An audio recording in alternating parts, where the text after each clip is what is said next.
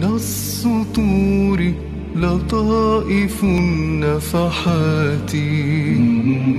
تزكي النفوس بأعبق البركات.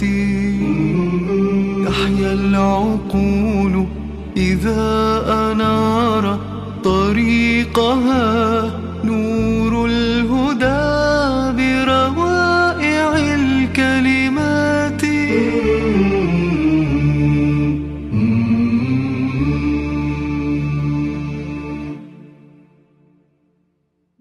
الرحمن الرحيم. الحمد لله رب العالمين. والصلاة والسلام على محمد وآله الطاهرين.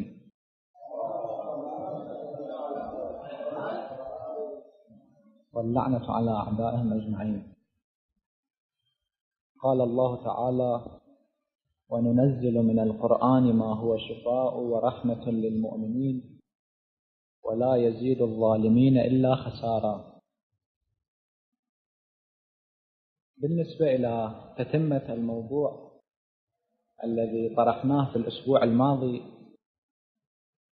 ذكرنا أن القرآن أنزله الله سبحانه وتعالى ليكون كتاب الحياة.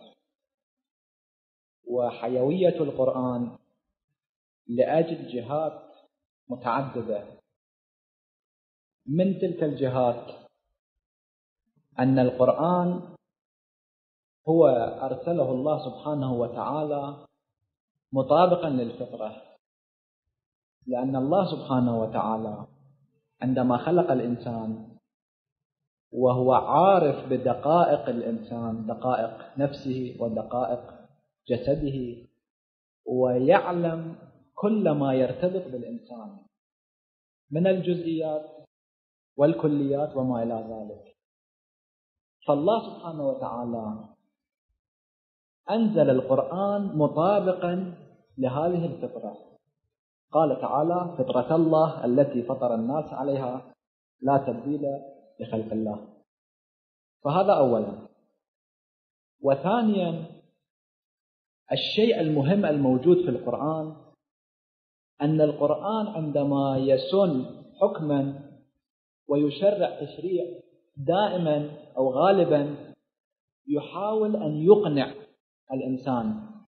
فلذا نرى أن القرآن غالبا يذكر علل الأحكام وغير الأحكام. مثلا عندما يوجب الصلاة الصلاة واجبة. هل أوجبها وقال صلوا ولم يذكر العلة؟ لا. وإنما نرى في القرآن ذكر العلة. أقم الصلاة لذكري. إن الصلاة تنهى عن الفحشاء والمنكر. وحينما شرع الصوم ذكر الحكمة أيضا لعلكم تتقون. وحينما أوجب الحج ذكر السبب ليشهدوا منافع لهم. وحينما حرم الخمر قال وإثمه أكبر من نفعه. وكذلك لا تقربوا الصلاة وأنتم سكارى حتى تعلموا ما تقرأ. يعني العلة في تحريم الخمر أيضا مذكور وكذلك إذا تصفحنا القرآن رأينا أن كل حكم وكل شيء يعني مو فقط الحكم غالبا يعني ما نقول بالكل ولكن غالبا يذكر العلة. فهذا الشيء الثاني والسبب الثاني لحيوية القرآن أنه الله سبحانه وتعالى يذكر العلة يقنع الإنسان والإنسان إذا اقتنع بشيء طبيعي أنه يعمل به. الشيء الثالث كما ذكرنا في الأسبوع الماضي أن القرآن يستوعب, آه، جميع جوانب حياة الإنسان المختلفة. والكتاب الذي يستوعب جميع الجوانب التي يحتاج إليها الإنسان في هذه الحياة الدنيا طبيعي أنه يكون كتاب حياة. مو كتاب مختص بجانب من الجوانب اللي الإنسان حينما يحتاج إلى ذلك الجانب يذهب وراء الكتاب. إذا الإنسان فرض يصيبه مرض يراجع الطبيب ولكن إذا لا يصيبه المرض لا يراجع الطبيب. القرآن ليس هكذا. يجب أن ينظر الإنسان في القرآن نظرة شمولية. يعني عندما يريد أن يستفيد حكم أو شيء من القرآن لا ينظر إلى آية أو آيتين ثم يحكم. لا وإنما يلزم عليه أن تكون يلزم أن تكون نظرته نظرته إلى القرآن نظرة شاملة ونظرة عامة. من باب المثل إذا قبل المثل نذكر إذا الإنسان نظر إلى شيء نظرة نصفية ونظرة ناقصة قد ينقلب الشيء إلى ضده. يعني من باب المثل كلمة لا إله إلا الله هذه كلمة التوحيد. إذا نحن نظرنا إلى هذه الآية نظرة نصفية تنقلب كلمة التوحيد إلى كلمة الشرك أو كلمة الكفر. لا إله. هذه كلمة كلمة الكفر. وكذلك بالنسبة إلى كثير من الآيات. إذا الإنسان يراها لوحدها قد تنقلب هذه الآية إلى خلاف مقصود الله سبحانه وتعالى. كما قال يزيد استدل لعدم وجوب الصلاة أو حرمة الصلاة بقوله تعالى ويل للمصلين. قال ما قال ربك ويل للذي شرب؟ أن شرب الخمر والعياذ بالله. بل قال ربك ويل للمصلين. يعني هذه النظرة الناقصة إلى القرآن سببت أن ينقلب أن تنقلب الآية التي تحث الإنسان على الصلاة إلى آية تحث الإنسان على ترك الصلاة. هذه هي النظرة الناقصة إلى القرآن. وماذا يحول بجسم حي إذا قطعناه إلى أشلاء تحت الفأس؟ يعني إذا عندنا جسم حي إنسان حي كائن حي إذا قطعناه بالفأس إلى قطع ينقلب إلى كتاب موت. لهذا في هذه الآية التي ذكرناها أول الكلام الله سبحانه وتعالى يقول ولا يزيد الظالمين إلا خسارة. نفس هذا القرآن. نفس هذا القرآن الذي هو شفاء ورحمة للمؤمنين. ينقلب بالنسبة إلى الظالمين إلى خسار نفس هذا القرآن الذي هو كتاب الحياة. لماذا؟ لأن مما يفعله الظالمون هو التبعيض في آيات القرآن والتنصيب يقال إن أحد الملوك استباح جيشه مدينة من المدن. عاثوا فيها فسادا. فجاءت امرأة من أهالي تلك المدينة تشكو إلى الملك. ما يصنعه جنوده. فقال الملك ألم تسمعي قول الله سبحانه وتعالى حيث يقول إن الملوك إذا دخلوا قرية أفسدوها وجعلوا أعزة أهلها أذلة؟ قالت بلى سمعت هذه الآية ولكن هل تغافلت عن آية أخرى؟ حيث إن الله سبحانه وتعالى يقول فتلك بيوتهم خاوية بما ظلموا. يعني الضمير راجع إلى الملوك وإلى الظالمين. فاتعظ من هذه الآية وأمر جنوده أن يخرجوا من تلك المدينة. يعني هذا الملك الظالم لأنه نظر إلى آية واحدة استفاد استفادة مغلوطة من هذه الآية. لأن الله سبحانه وتعالى فرق المواضيع في ضمن آيات حيث فعل كذلك يلزم علينا إذا أردنا أن نستفيد في موضوع من المواضيع من القرآن أن نرى كل القرآن. مو أن نرى آية لا أن نرى آية واحدة بجزئها. يعني افرضوا بالنسبة إلى موضوع الشفاعة. الله سبحانه وتعالى ما جعل موضوع الشفاعة في مكان واحد. لا بل فرق موضوع الشفاعة في آيات مختلفة. وكل آية تكون تكمل لآية أخرى. الآية الثالثة تكمل للآية الثانية والآية الرابعة تكمل للآية الخامسة. لأن في الشفاعة أكو عشرات الآيات. إذا واحد يريد آه، أن مثلا آه، يسيء الاستفادة من آية الشفاعة يقول الله سبحانه وتعالى يقول في القرآن الكريم ليس لهم من دونه ولي ولا شفيع. ولي ولا شفيع. اللي تدل هذه الآية على أن الله سبحانه وتعالى هو الشفيع. آية ثالثة من ذا الذي يشفع عنده إلا بإذنه؟ يدل على وجود الشفاعة بإذن الله سبحانه وتعالى. آية رابعة لا يشفعون إلا لمن ارتضى. حينما نجمع بين هذه الآيات آه، نستفيد أنه الشفاعة الاعتباطية ما موجودة. الآيات التي تنفي الشفاعة قصدها الشفاعة الاعتباطية كلها وردت بالنسبة إلى الكافرين الذين يتركون أحكام الله سبحانه وتعالى. أو الظالمون الذين يتركون الشرائع. الآية الأخرى التي تقول أن الشفاعة كلها لله سبحانه وتعالى هذه الآية معناها أن الله سبحانه وتعالى هو الأصيل بالنسبة للشفاعة. وسائر الناس كالأنبياء والأئمة ليسوا أصلاء في الشفاعة وإنما شفاعتهم بإذن الله. الآية الأخرى التي تقول لا يشفعون إلا لمن ارتضى. يعني الله سبحانه وتعالى الشفاعة كلها له.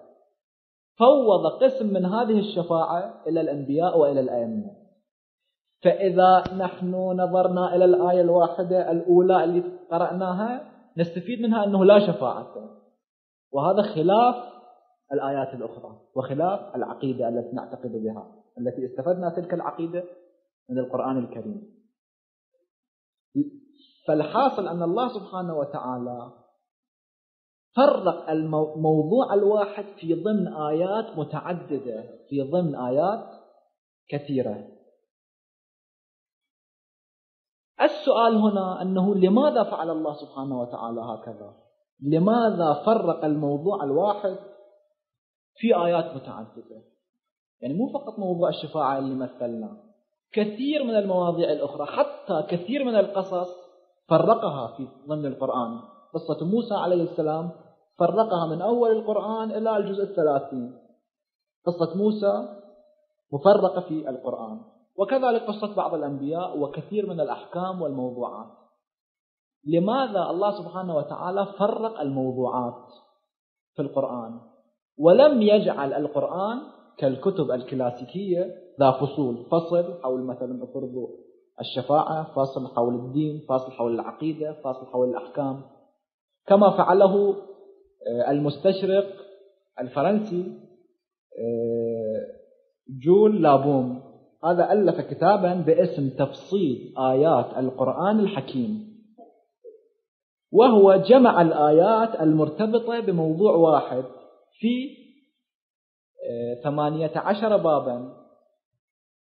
باب للتاريخ وباب حول الرسول وباب حول التبليغ. يعني جمع الآيات من أول القرآن إلى آخره.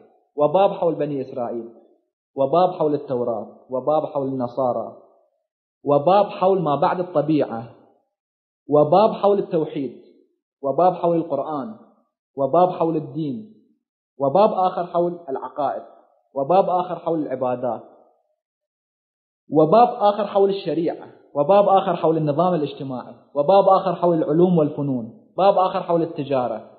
باب آخر حول علم تهذيب الأخلاق. باب آخر حول النجاح. وقسم كل باب إلى فصول متعددة. جمع يعني إذا أردنا أن نستفيد موضوع من القرآن جمع آياته من أول القرآن إلى آخر القرآن.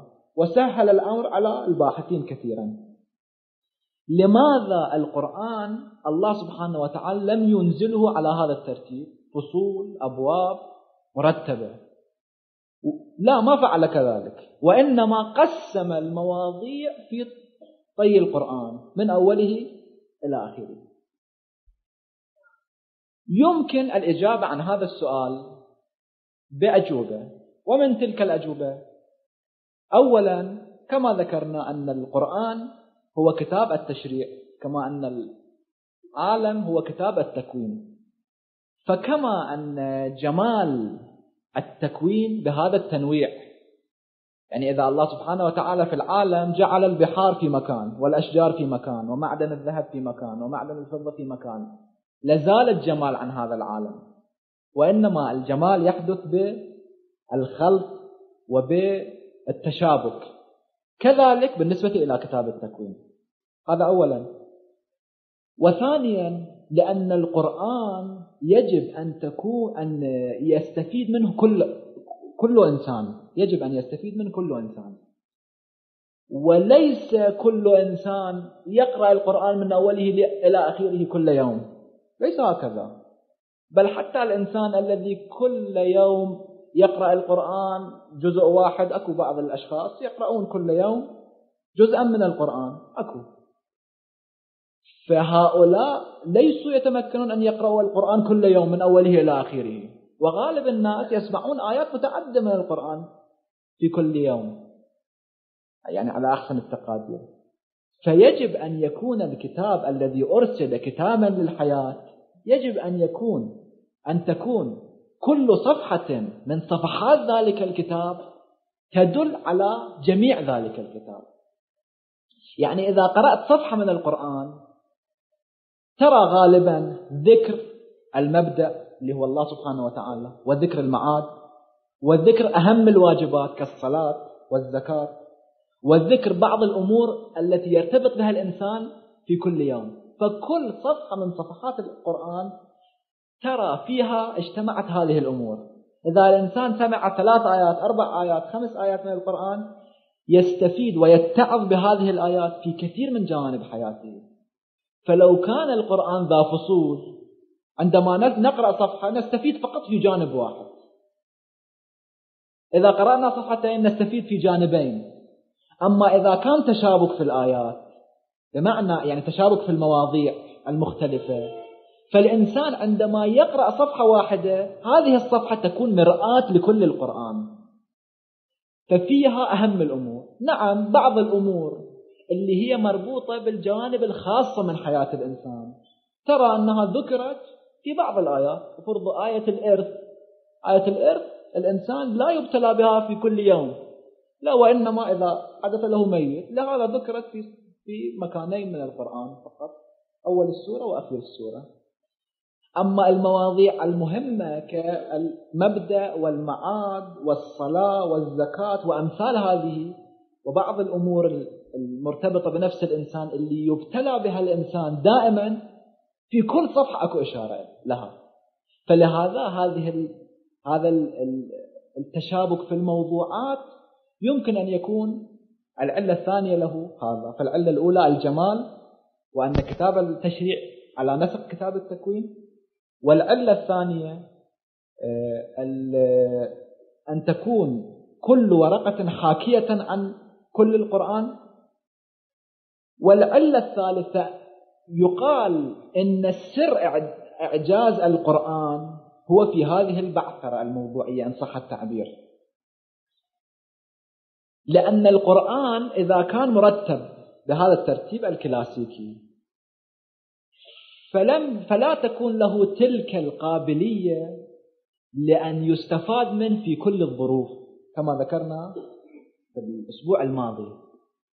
أما إذا كان هذا الكتاب بهذا الترتيب فيكون قابلا لأن يطبق في جميع الظروف. يعني الكتاب التي الذي ألف قبل ألف عام غالبا لا يفيد لهذا العصر. لهذا ترى دائما الكتب تتبدل خصوصا في العصر الحديث اللي الكتاب الذي كتب قبل ثلاثين أو أربعين عام غالبا لا يستفاد منه. إلا الكتب مثلا الوثائق أو الكتب مثلا أمثال هذه المصادر اللي المراجعة لها يكون للأخصائيين فقط مو لعامة الناس. فسر إعجاز القرآن هو هذا. كحروف الهجاء يعني نمثل القرآن كحروف الهجاء. حروف الهجاء العربية 28 حرفا. الشخص الأديب أو الشخص البليغ أو الشخص العالم يتمكن من مزج هذه الحروف. بعضها ببعض يتمكن من أن يستفيد أو أن يستفيد أو أن ينشئ ويوجد أعمق المعاني وأدق التعابير البلاغية. يعني الشخص البليغ ماذا يفعل؟ أو الشخص العالم في كتابه العلمي العميق ماذا يفعل؟ نفس الحروف الهجائية يركبها بتركيب اللي يستفاد من ذلك التركيب. أعمق المعاني في الكتب العلمية وأرق وأدق المعاني في الكتب الأدبية مثلا أو في العبارات الأدبية. القرآن كذلك.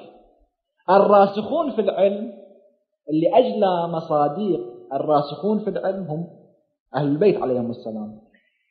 قال رسول الله صلى الله عليه وآله وسلم إن القرآن لم ينزل أو لم ينزل ليكذب بعضه بعضا ولكن نزل ليصدق بعضه بعضا.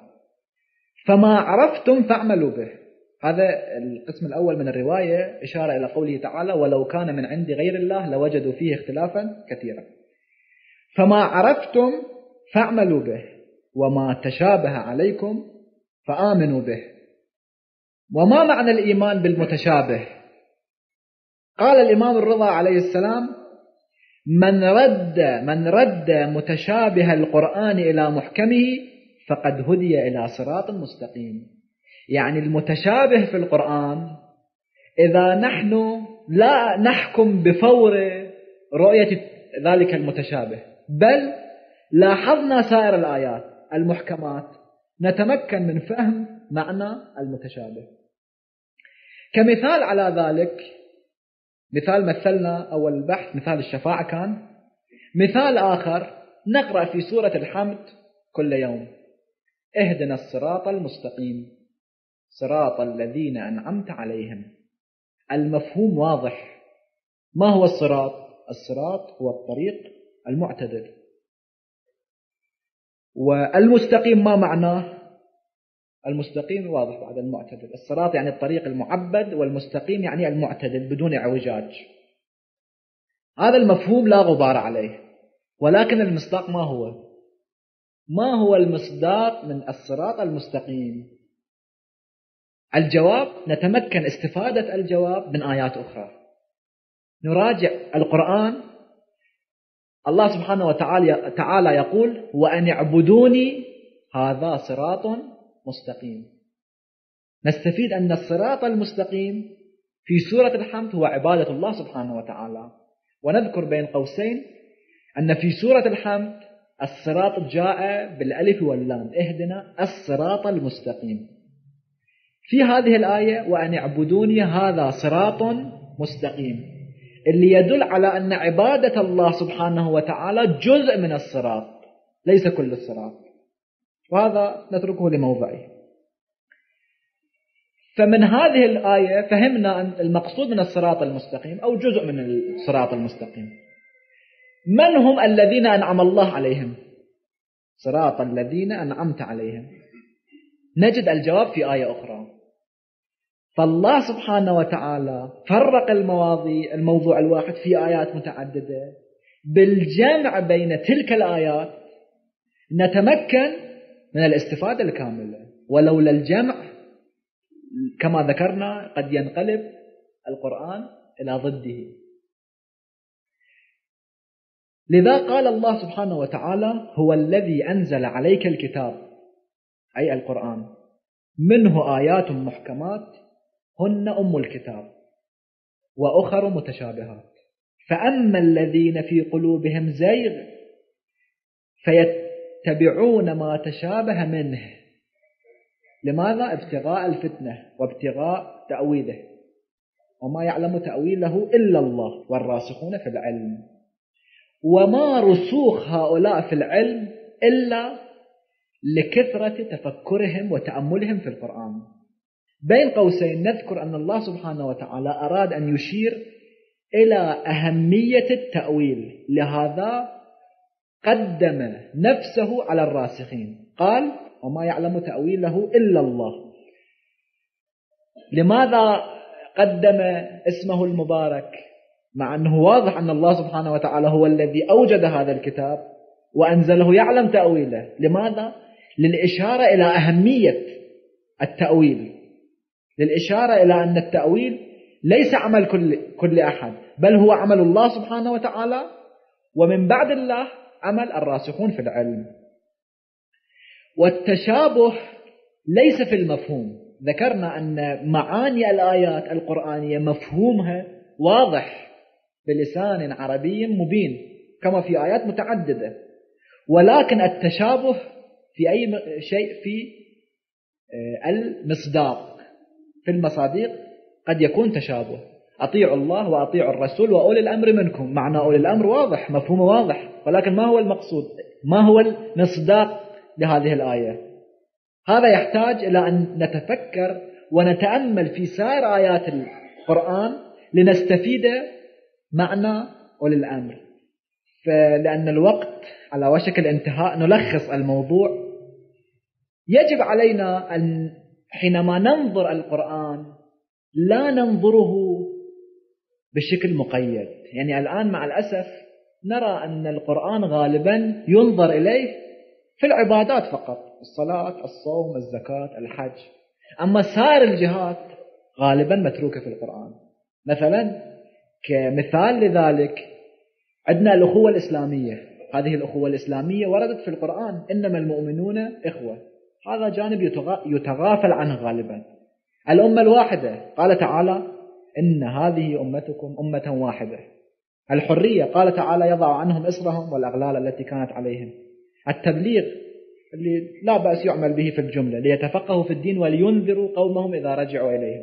الشورى قال تعالى أمرهم شورى بينهم شاورهم في الأمر.